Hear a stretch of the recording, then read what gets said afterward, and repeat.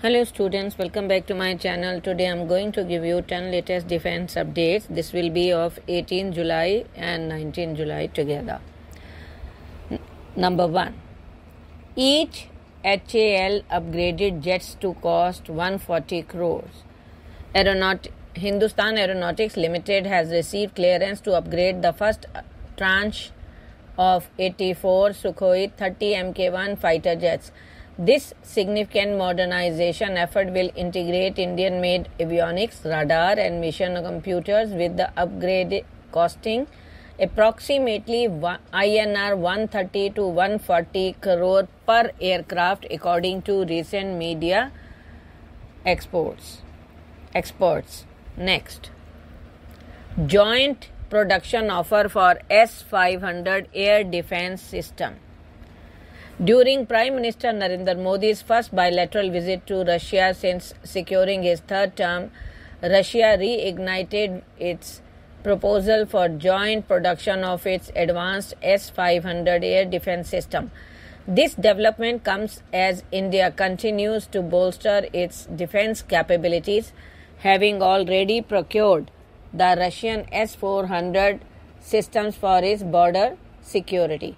The S 500 air defense system, developed as a successor to the S 400, represents a significant leap in aerial defense technology. It is designed to intercept a wide array of aerial threats, including unmanned aerial vehicles, hypersonic missiles, and ballistic missiles at ranges extended up to 600 kilometers.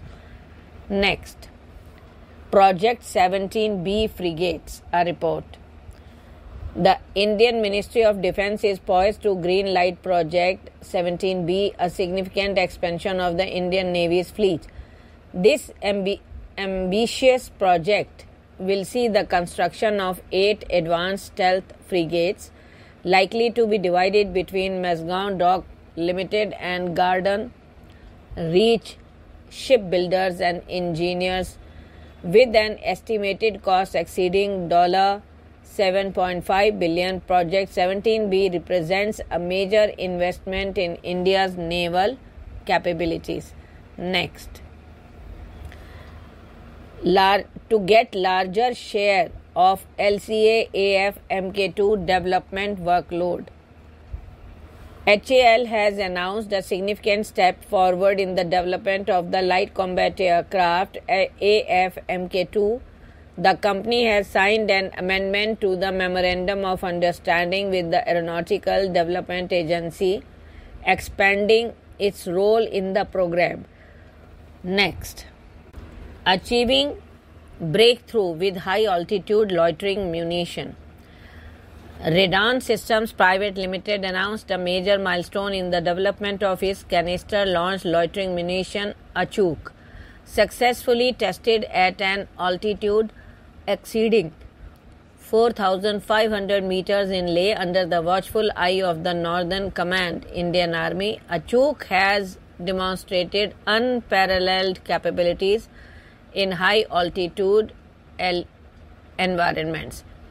Designed with an impressive endurance of 50 plus minutes and a payload capacity of 1.5 kg Achuk stands out as a potentially unique loitering munition capable of operating in such extreme conditions. The rigorous trials conducted between 3,500 to 4,600 meters showcased Achuk's exceptional performance and robustness.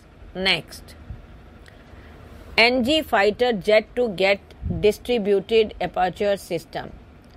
In a significant step towards bolstering India's air defense prowess, the DRDO has embarked on the development of a cutting edge technology, the Distributed Aperture System HD DASHD. The Instruments Research and Development Establishment, a premier DRDO lab, is spearheading the this project.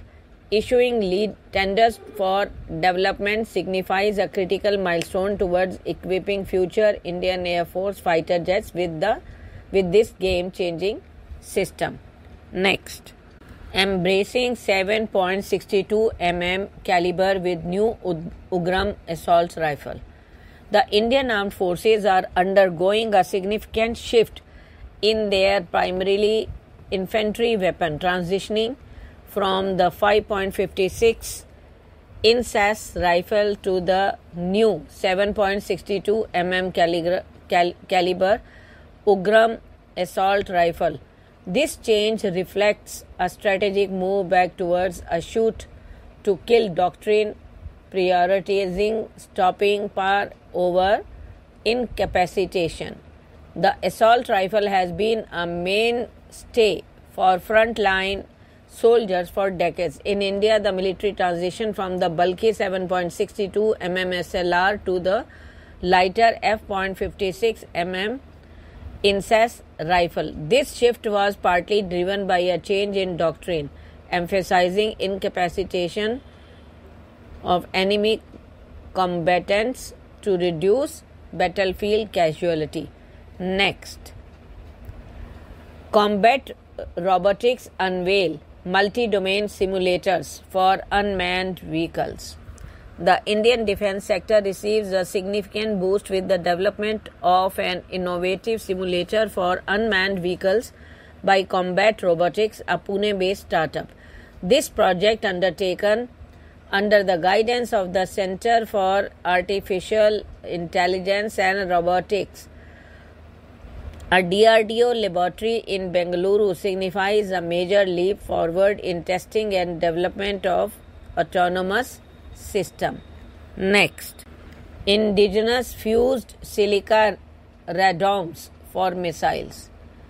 Defense Metallurgical Research Laboratory has achieved a significant milestone in the development of indigenous fused silica radomes for missile applications. The laboratory has successfully mastered the cold isostatic pressing technology to manufacture these official components with high yield and desired properties. Radomes, the protective enclosures for radar antennas, play a crucial role in the performance of missile. Fused silica is the preferred material for radomes due to its exceptional electromagnetic and mechanical properties as well as its resistance to thermal shock. Next, soaring high with innovative surveillance drones. Ordnance Equipment Factory Haz- Hazratpur is proud to announce its emergence as a leader in drone technology with the establishment of a state of the art surveillance drone manufacturing unit. This facility marks a significant stride towards self reliance in unmanned aerial vehicles technology for the nation. Thank you.